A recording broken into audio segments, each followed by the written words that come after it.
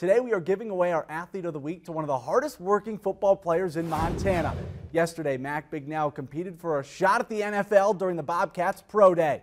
The Drummond native worked nonstop for 10 weeks, balancing school and also adding on 30 pounds of muscle to fit the linebacker physique. And his numbers at Pro Day showed, outperforming many linebackers who went to the NFL Combine. I just left it all out on the field and just kind of that just kind of says how my career went too, and I give it all, and and then I felt good, you know, no regrets. Um, so I'm gonna leave here happy with my performance.